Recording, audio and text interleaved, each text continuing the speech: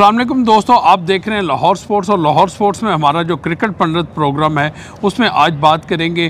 Pakistan cricket board में तब्दीली हुई है। तब्दीली के बाद अब बहुत बड़ी तब्दीलियाँ भी सामने आ रही हैं। शाहिद खान अफरीदी को चीफ सेलेक्टर लगा दिया गया। है एक बड़ा नाम सिलेक्शन कमेटी में आया है। इससे पहले इंजमाम हक भी इस कमेटी की सरबराही कर चुके हैं और बहुत सारे नाम ऐसे हैं। अब्दुल कादर हैं, वो भी चीफ सेलेक्टर के फ़रज़ अंजाम दे चुके हैं। मोहम्मद अलियास हैं। इसी तरह अभी मोहम्मद वसीम जिन्हें सबक दोष किया गया उनकी जगह पर शाहिद खान अफरीदी को अबूरी सिलेक्शन कमेटी का सरबराह बनाया गया है। इसी तरह पाकिस्तान क्रिकेट बोर्ड की जो कमेटी है, इस वक्त मैनेजमेंट कमेटी है, वो बड़े फैसले करने जा रही है, जिसमें डिपार्टमेंट क्रिकेट बहाल होगी जिसमें रीजन्स को बहाल किया जाएगा। इस हवाले से आइन को जो आइन 2014 का था, उसको बहाल किया जाएगा। उस हवाले से कितने शिकम हैं, उसमें उनको दूर करने के लिए भी अब पाकिस्तान क्रिकेट बोर्ड की मैनेजमेंट कमेटी ने सर जोड़ लिए हैं। लेकिन आज की जो बड़ी खबर, वो यही है कि शाहिद खान अफरीदी को पाकिस्तान क्रिकेट बोर्ड का पाकिस्तान टीम का नया चीफ सेलेक्टर मुकर कर दिया है। मेरे साथ मौजूद हैं senior sports journalist Akeel Ahmed और दूसरी जानब शेख एजाज साहब। ये भी सीनियर स्पोर्ट्स जर्नलिस्ट है और लंबे अरसे से स्पोर्ट्स की कवरेज कर रहे हैं। इनसे जानेंगे कि ये फैसला पाकिस्तान क्रिकेट बोर्ड का कैसा है। तब्दीलियों का अमल बोर्ड में जारी हो गया है। उस हवाले से ये क्या कहेंगे? सबसे पहले अकील साहब, आप क्या कहेंगे? आप क्या राय देंगे? देखें चोइस साहब, ये जो फैसला है, मेरा ख्याल है कि इस वक्त क्योंकि मॉडर्न क्रिकेट भी खेल चुके हैं, शाहिद खान, अफरीदी, और जो जिस तरह की आजकल टी ट्वेंटी ख़ास तौर पर क्रिकेट जो इस वक्त अपनी बुलंदी, शहरत की बुलंदियों को छू रही है, वो भी उन्होंने खेली हुई है। 2009 जो पाकिस्तान ने टी ट्वेंटी वर्ल्ड कप जीता था उसके वो मेंबर थे उस टीम के तो इस हवाले से आप ये कह सकते हैं कि वो पुरानी क्रिकेट को भी जानते हैं और जदीद क्रिकेट को भी, और उनकी ज़ाहिर अभी रिसेंटली कुछ अर्सा ही हुआ है, वो क्रिकेट से उनकी किनारा कशी हुई है। तो लिहाजा मेरे ख्याल में, और एक बड़ा नाम भी है स्टार वैल्यू भी है उसकी, और बूम बूम भी उनको कहा जाता है। तो इस हवाले से मेरा ख्याल है कि ये जो पीसीबी की मैनेजमेंट कमेटी है, और जिसके सरबराह नजम सेठी हैं, और उनकी सरबराही में जो चौदह रुकनी कमेटी कायम है, उनका ये बड़ा अच्छा और और बड़ा एहसन इकदाम है मेरे ख्याल से। अकील साहब वो चौदह रुकनी कमेटी के भी मेंबर थे और उसी मेंबर में से एक बंदे को सिलेक्शन कमेटी का सरबराह बनाया गया है। इसमें कोई शक नहीं है कि वो चौदह रुकनी कमेटी में भी शामिल हैं लेकिन आप ये कह सकते हैं कि ये बंदर बांटी मुझे लग रही है क्योंकि कुछ लोग ज़ाहिर है जो रमीज़ राजा थे वो सबक चेयरमैन हो चुके हैं तो उनके साथ भी कुछ लोगों की वफादारियाँ होंगी और जिस तरह का इस वक्त सेटअप चल रहा है ख़ास तौर पर कि कोई पता नहीं है, गैर यकीनी सूरत हाल है पाकिस्तान में, सियासी तौर पर, ख़ास तौर पर। कुछ लोग मेरा ख्याल है कि आने को भी इस मैनेजमेंट के साथ उस तरह काम करने से भी कतरा रहे हैं, क्योंकि लोगों का ये जिस तरह का माहौल बना हुआ है, ख़ास तौर पर सोशल मीडिया पर, उससे ऐसा लगता है कि अगर इलेक्शन होंगे तो फिर हो सकता है कि पी टी आई और इमरान खान दोबारा बरसर इकतदार में आ जाएँगे। और ये जितना जिस तरह अभी ये बसात लपेटी जा रही है पी सी बी की, ख़ास तौर पर जिस तरह वहाँ पर तब्दीली की आवाज़ चल रही है तो इस वजह से कुछ लोग कतरा रहे हैं। लेकिन क्योंकि बोम बोम शाहिद खान अफरीदी एक बड़ा नाम था और इस वक्त ऐसे नाम की ही ज़रूरत थी, क्योंकि ये जो वसीम, मोहम्मद वसीम थे, वो नो डाउट टेस्ट क्रिकेटर रहे हैं, लेकिन उस तरह उनका शाहिद खान अफरीदी, वसीम अकरम, वकार यूनस या इस तरह के इंजमाम हक अब्दुल कादर की तरह उनका स्ट्रक्चर नहीं था। मेरा ख्याल है कि इस सिलेक्शन कमेटी को क्योंकि पॉलिसी बदली है और तीन मेंबर्स पर मुश्तम सिलेक्शन कमेटी बनाई गई है तो यही वजह है कि उन्होंने कहा कि एक ऐसा बड़ा नाम रखा जाए जिस जिसको अपने साथ जोड़ा जाए ताकि लोग उसकी उसकी से भी हो और उसकी बातों को माने भी वो। जी शे, शेख एजाज साहब बड़े इख्तलाफात भी रहे हैं शाहिद खान बुम बुम अफरीदी के साथ। जब भी आ, मीडिया में आते थे आपको वो दिन याद आ गए होंगे कि हमेशा वो कहते थे कि आप हमेशा मेरे ख़िलाफ़ ही कोई ना कोई चीज़ बोलोगे कुछ ऐसा ही सवाल करोगे जिससे वो हमेशा नाराज़ होते थे कि मुझे ऐसे सवाल क्यों किए जाते हैं तल्ख सवाल क्यों किए जाते हैं। लाजमी बात है अब बतौर चीफ सेलेक्टर जब आपके सामने होंगे फिर भी आपका उनका सामना होगा। क्या कहेंगे इस तैनाती को और वो वो मंज़र जो आप माजी में उनके साथ आपके ताल्लुक रहे उस हवाले से बताइएगा। याद माजी तो वैसे ही अजाब है। तो आपने क्या क्या चीज़ें याद करवा दी? तो मैं ये कहूँगा कि ये एक अबूरी कमेटी है। जिसका कोई दुरानिया नहीं बताया गया फिल वक्त तो सिर्फ़ यही बताया गया है कि ये तीन जो वनडे मैचेस होंगे या दूसरे टेस्ट में अगर कोई चेंजिंग जो रिक्वायर होएगी टीम को तो उसको वो चेंज करके इससे कोई बड़ा उन्हें टारगेट नहीं दिया गया कि कोई मेगा कोई इवेंट आ रहा है या कोई चार छः सीरीज़ आ रही हैं, उसके लिए तो ये कमेटी बनाई नहीं गई। ये सिर्फ़ अबूरी कमेटी है और सिर्फ़ तीन वनडे मैचेस के लिए है। और इसीलिए शायद अगर इंतमाम का नाम या राशिद लतीफ़ का शुआब अख्तर का नाम सुनने में आ रहा था तो वो साइड पर रखे गए हैं कि जब एक परमानेंट मुस्तकिल कोई म्याद मुकर करके जब एक कमेटी बनाई जाएगी तो उनमें एक्सपेक्टेड है कि यही नाम होएँगे या इसमें कुछ चेंजिंग हो जाएगी। तो रही बात ये कि जिस तरह अकील साहब ने कहा, बड़ी अच्छी बात की कि फेस वैल्यू है स्टार है बूम बूम है, इस, और इसमें तो कोई शक ही नहीं। तीनों फार्मेट खेले हुए हैं वनडे भी खेले हैं टेस्ट भी खेले हैं टी ट्वेंटी भी खेले हैं। उन्हें पता है कि क्रिकेट क्या है।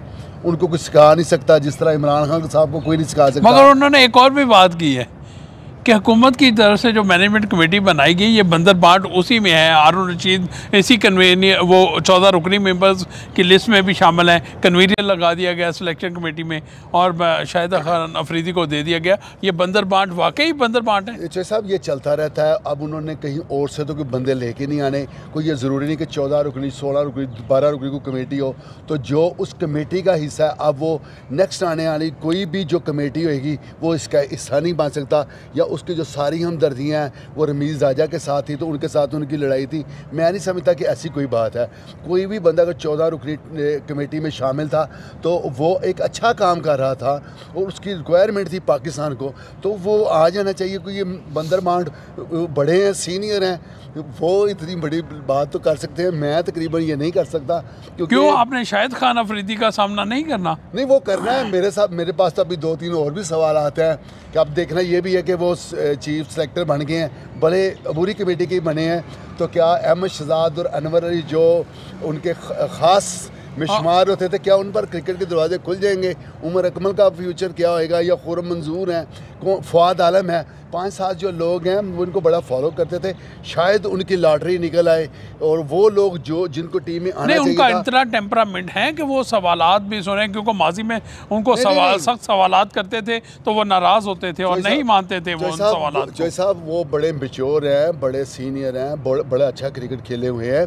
तो उम्मीद है कि वो अब काफ़ी उनमें चेंज आ गई हुई है। अब वो चीज़ नहीं रही कि जब 2010 की बात थी फिक्सिंग हुई सलमान भट्ट आमर और उन पर मोहम्मद आसिफ पर जिस तरह पाबंदी लगी तो उसके बाद इनको थोड़ा सा पूछा गया क्योंकि ये कैप्टन थे इन्होंने रिज़ाइन किया बाद मुसलमान सलमान भट्ट को बना दिया। उसके तनाजर में जब उनसे सवाल होते थे शायद वो उनकी फीलिंग कुछ और हो जाती थी। उसके अलावा कुछ नहीं था तो बड़े मेच्योर हैं समझदार हैं और छोटे छोटे सवाल का उनको कोई फ़र्क नहीं पड़ता। तो बाकी सवाल होते ही करने के लिए हैं भले वो कोई नो कमेंट्स करके टाल दे या उसका अच्छा जवाब दे दे या आगे से शड़प काल दे दे वो तो उसकी मर्ज़ी है। बिल्कुल इसी तरह जिस तरह आपने कहा सवाल तो होते हैं और सवाल होंगे भी। आ, क्या कहेंगे जी अब सिलेक्शन कमेटी का एक बड़ा इम्तहान है क्योंकि इंग्लैंड ने जिस तरह जारहाना क्रिकेट खेल के एक नई जिद्दत पैदा कर दी है टेस्ट क्रिकेट में। आ, जो सिलेक्शन कमेटी है वो वनडे टीम के अनाउंसमेंट करेगी। आ, अब न्यूजीलैंड टीम भी कोई आसान हरीफ नहीं है और उसके ख़िलाफ़ किस तरह की टीम ये चाहेंगे बनाना कि या माजी के ही एक दो चेंजिंग आप देखते हैं स्क्वाड में? चौधरी साहब असल में इंग्लैंड की टीम जो थी, उसका स्टाइल बिल्कुल डिफरेंट था और मेरा ख़्याल है कि ये जो कीवीज हैं, ये इनका स्टाइल बिल्कुल मुख्तलिफ़ है। उस तरह का एग्रेशन देखने में नहीं आएगा। ये जो सीरीज़ होगी ख़ास तौर पर टेस्ट सीरीज़, उसका पहले टेस्ट के लिए आलमोस्ट दोनों टेस्ट के लिए टीम का ऐलान तो हो गया हुआ है। अब बुरी कमेटी ने अगर कोई टेस्ट में चेंजेस होगी, कोई इंजरी हो जाती है या कोई और मसाइल का किसी खिलाड़ी को सामना करना पड़ता है तो सूरत में वो किसी को सिलेक्ट करेंगे। जहाँ तक बात है वन डे की वन डे क्रिकेट भी अब ज़ाहिर है टी ट्वेंटी फॉर्मेट की वजह से उसमें भी तेज़ी आएगी। अब इम्तहान वही है, यही लोग जो ए, अभी जिस तरह हारे हैं पहले इससे अपना इंग्लिश टीम से गोरों से तो उसके बाद तनकीद की जा रही थी कि टीम टी, वो टी ट्वेंटी वाले खिलाड़ी ले आए थे। तो इनका किसी ने रोका था? अब ये देखना ये है कि शाहिद खान अफरीदी और उनके साथ जिस तरह ऑलराउंडर अब्दुल रजाक हैं वो भी पिछले दिनों एक टीवी निजी टीवी पर बैठकर जिस तरह सिलेक्शन कमेटी के और खिलाड़ियों के बखियों देड़ रहे थे। अब इनका भी ये इम्तहान है और ख़ास तौर पर आओ इफ्तार अंजुम जो कि नो डाउट वो एक फास्ट बॉलर रहे हैं, माजी के वो जूनियर सिलेक्शन कमेटी में भी रहे हैं और जूनियर के कोच भी रहे हैं। उनका इतना नहीं, इन दोनों पर ज़्यादा होगा प्रेशर के ये इन्होंने किस तरह की अब टीम बनानी है। इनका इम्तहान है असल में दोनों का, शाहिद खान, अफरीदी बुम बुम का और ख़ास तौर पर ऑलराउंडर अब्दुल रजाक कि वो किस तरह के खिलाड़ी मुंतब करते हैं। अब देखते हैं कि वो उस मैार पर, कौम की तो पर पूरा उतरते हैं कि नहीं? क्योंकि अब कीवीज़ भी ज़ाहिर है, तगड़ी टीम तो है, लेकिन इस तरह का एग्रेशन मुझे नहीं लगता कि वो जो इंग्लिश टीम ने दिखाया टेस्ट सीरीज़ में उस तरह नहीं दिखाई देगा। देखें जी, ये जिस तरह अकील साहब ने और शेख एजाज साहब ने बात की, इसी तरह मैं भी ये एक बात ये कहूँगा कि क्योंकि अब्दुल रजाक पीछे अभी दुबई में जाकर पीटीआई में बाकायदा तौर पर शमूलियत इख्तियार कर चुके हुए हैं और उन्होंने जो इमरान खान के झंडे का वो पढ़ना है, वो अपने कंधे पर अपने गले में सजा लिया है। ऐसी सूरत में कितना मुश्किल होगा कि वो नजम सेठी, जो कि बिल्कुल पी टी आई के बिल्कुल हरीफ हैं उनके जेर साया उनका काम करना कैसा होगा?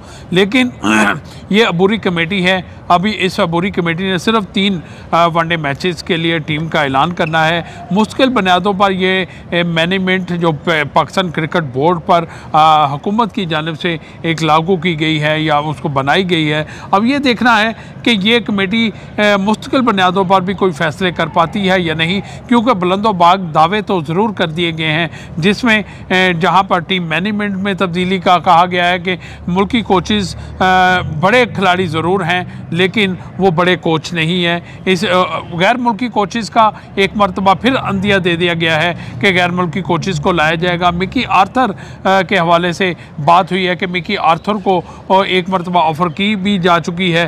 अब उनकी तरफ़ से जवाब आना बाकी है। क्योंकि ये जो सारे फैसले हैं, ये अब लगता ऐसा ही है कि पाकिस्तान सुपर लीग का जो आठवां एडिशन शुरू होने जा रहा है। तेरह फरवरी से उसके बाद ये तमाम फैसले होंगे। उससे पहले पाकिस्तान क्रिकेट बोर्ड रीजनल सतह पर डिपार्टमेंट क्रिकेट के हवाले से कुछ फैसले करेगा। वो किस हद तक कामयाब होते हैं, ये तो आने वाला वक्त बताएगा। लेकिन आज का हमारा जो क्रिकेट पंडित प्रोग्राम था, वो इसी हवाले से था कि शाहिद अफरीदी एक बड़ा नाम है, उनको एक बड़ी ज़िम्मेदारी दी गई है। अब देखना यह है कि वो क्योंकि माजी में वो बतौर कप्तान भी खेलते रहे हैं, बतौर खिलाड़ी भी खेलते रहे हैं और टीमों का कम्बिनेशन भी देखते रहे। अब वो किस तरह का कम्बिनेशन टीम को या कप्तान को बनाकर देते हैं, जिससे न्यूजीलैंड को अपने होम सीरीज़ पर, अपने होम ग्राउंड पर तीन मैचों की सीरीज़ में शिकस्त देकर कामयाबी हासिल की जाए, ये आने वाला वक्त बताएगा। शाहिद अफरीदी ने टीम अच्छी मंतखब की, या कि वो भी सफारशी खिलाड़ियों को बीच में लाने में कामयाब हुए हैं।